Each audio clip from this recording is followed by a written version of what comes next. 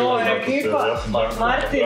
Hoćemo kidati jakni možu jakni? Fila, dolaze ti sportaši i... Pa je, je, je. Nas ima e, četvero. Ima ovi što rade MMA, boks, e, imamo nogometni podcast, imamo sve živo. Onda sam ja uzela ove ostale sportove. Ali svima se sviđa jer je opušteno. Nije to ono kao kad daješ intervju pa sad ono da bude stroga nekakva forma. To sam totalno iz špimunga javnog nastupa čovječ. Ja sam se ono potpuno okrenuo tom svom poslu. Jer ja baš sad isto kad sam ono gledala, reko, više ne znam jel vi, možemo i na ti. Ti, ma daj, molim te, kakav vi je.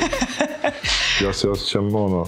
Dobro, budemo na ti. Jel, jel više nisi u skautingu ili? Jesam, je, da. još uvijek, jel da? Da, da, ja radim kao scout za Brooklyn, Draženova ekipa. Evo, ovako sad čitao da Biserka nešto organizira, pokušava organizirati dolazak. To kad sam pročitala za Brooklyn i kad sam čula da bi mogao doći Durant, rekao to moram, moram reći, teško.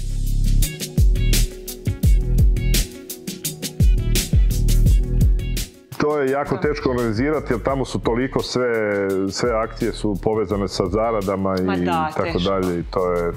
Će neki dobiti. Čekaj da vidimo. A da, teško je pogotovo uskladiti s njihovim tim vremenom igranja i sve živo. Pa nema, dragi Martine.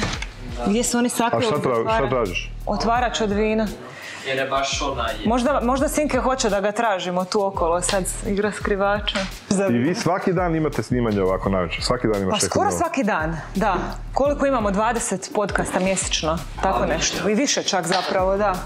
Ali non, non stop je nešto, non stop je jako. Odlično, to je sad, sad društvene mreže i taj Da, način da, da, je da. Imamo jako puno pregleda na tom YouTube-u, ovaj, vidio si sad vjerojatno. I Mula je bio i Rimac. Pa bio je i Mulac Da, i Rimac, da. da, super. I Aco je bio... Paco je prišljiv, Paco je idealan sugovor. On može pričati o svemu i to je idealan.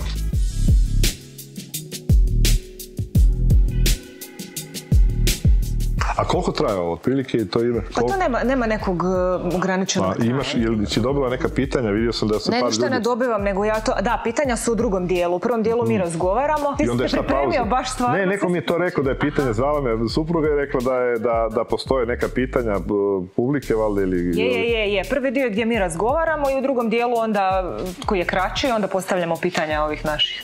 Proberemo. Zna biti jako puno, pa onda ako se... Šta ima neka pauza eventualno? Pa da, ima pauza ako treba Možemo neko malo, zapaliti, da. malo popiti. Bravo, bravo, bravo, bravo. Ali dobro ste uredili studij ovaj, super je. Baš Je. je ona atmosfera Domaća. uz kavu, da. Pa da, kao u dnevnom boravku. Martine, hoće li to?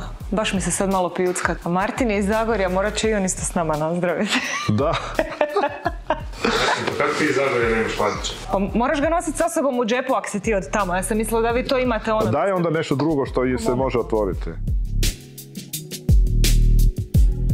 De ti nama neki džeki, a?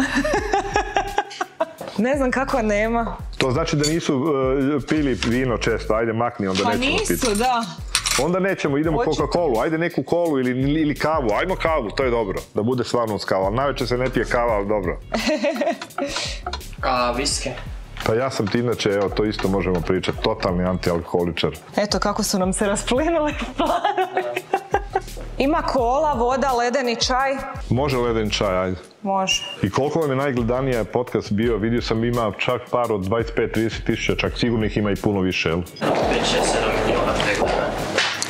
Hoćemo se mi prebaciti tamo, ha? Pa ćeš nas ti ozvučiti.